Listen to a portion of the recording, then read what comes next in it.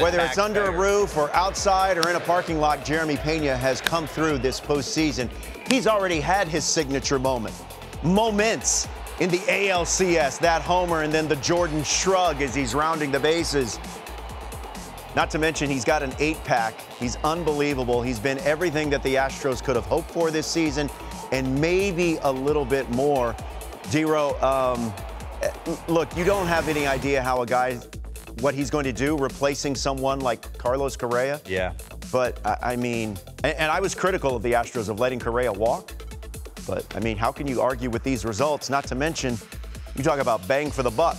They're getting that production that they got with Correa, but for a fraction of the cost. Yeah, I think we're going to focus on on the offense. Obviously, he's hit a ton of postseason homers, three postseason homers that have really changed the complex, getting the Astros to where they are. Lock in on the defense. Outside of the flip with him and Altuve, where he didn't know if Altuve was going to be on the bag, so he flipped it over his head. You hit it to shortstop or anywhere he's standing, you're you're pretty much out. All right, Robert brought something to my attention, and it kind of I'm going to bring it back to Jeremy Peña having a little bit of an old school two strike approach, and now he has brought that to start an account. Oh, oh, he's going with almost a two strike approach, just kind of setting the foot a little bit, not moving his head, and allowing his hands to work for himself. Something that he didn't do in the regular season, and something that I think he's going to go back and forth with as his career progresses. Robert sent me this clip. I don't want to get this man's name wrong. Ari Alexander. Ari Alexander, KPRC Channel 2 in Houston, did a skybox. I know. And he nailed it. Yeah. And I'm going to steal it, but I'm going to I'm going to cite my source because he's spot on. I'm going to add on a little bit to it and tell you why he's doing this. So let's get into the tape real quick. Talk about making adjustments, right? This is a super athletic guy. Lets the ball get super deep on him. Tight, big, strong, wiry, pop for days, hits in a great ballpark. So pause this real quick. Bring up the splits, S-Rod. And I'm going to take you through because on September 10th, he will face Ohtani. We're going to get to it, and it'll bat with Shohei Ohtani. And he kind of changed that little leg kick. First 114 games, not bad. On base percentage, listen, he's going to grind there until he learns the strike zone through and through. 250, 285, a 410 slug, and punching out about 25% of the time. The average has gone significantly up, 30 points almost. The on base up as well. Slug is through the roof, 130 points better, and his strikeouts have gone down. So give me a side angle real quick. Show him what he looks like. Pause. Get it back to when his leg kicks out of ties. Okay. I love this position. I believe this is one of the most athletic positions. Now, however you get there, the kids at home, you're trying to get into a load into your backside, whether you have to think in your mind back inside a back knee or into the back hip, whatever that may be. You're trying to get into a position to deliver a blow to the baseball, your best blow. If you think about it, you don't want to be out front, you're not hitting it as good. You want to be back here, bang, and snap off the backside. And that's exactly what he does. Sets the foot down, boom. On time, driving it out of the ballpark in Anaheim. But what happens when you're in that rhythm and timing throughout the course of a long season, they start flipping you some nasty breaking stuff. Dylan Cease, little slider away, and you're out front. I mean, he looks like he's on time on these pitches, but you start to go back and get frustrated because there's a rhythm and timing to everything you do, and maybe you're pulling off just a little bit.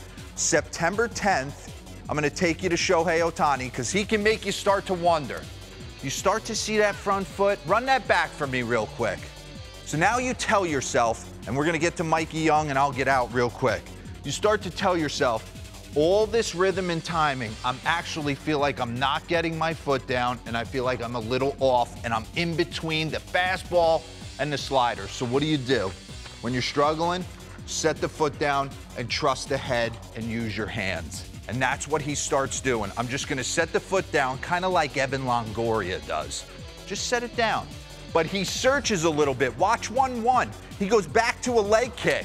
So he's trying, it doesn't feel totally comfortable to him. He finally pot commits to just setting the foot down, roasts a double right here, gets on first base, and he's saying to himself, okay, I saw the ball a little bit deeper. Let's roll with this a little bit more. And he has stayed true. Now he's starting to see the ball next at bat, 1 0. Spits on a heater. Thinks that's up a little bit. Spits on another 97 in. Normally, if you got the leg up in the air, you might be swinging at that pitch right there. Nice play in the outfield. But check it out. A little bit different. And don't be shocked if you see him go back and forth throughout his career, because this can become just a two strike approach for him. So when he's struggling a little bit in his mind, he can just bail out. Mikey Young used to do it better than anyone.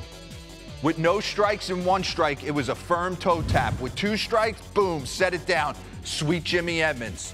Just turn that front foot in. Hmm. Look, he's about to tell Tino Martinez, I am so tired of carrying this organization. oh, man, I loved it. Highest slug percentage in a single postseason. Randy Arozarena went bonkers. Lawrence saw that. Andruw Jones, look at Allen Craig sighting. Allen. And there's Peña, kind of locked horns with Chipper Jones. So subtle adjustments, right? I used to do the toe tap when I tried to go for power. Boom, I was here. Boom, and then when I got to two strikes, it was bink. Just setting the foot down, let my hands play for me. Refuse to punch out. Love it. Dusty says he acts like a 30 year old. Maturity just off the charts. He's so young. Yeah, uh, and uh, he's definitely been a big part of what the Astros have been able to do this postseason. Obviously, looking for more success Thank you, Ari. throughout this uh, World Series. Yeah, great job, Ari. Do you know him, Robert? I do. I know him a little bit. Yeah, He nailed it. he really did. He called it the breakdown wall. I, I know, and and I really like uh, I, I like when the when the locals Yeah, you got it. go out and take a chance a little bit. So that's really that was really well done. So right. be sure to check it out.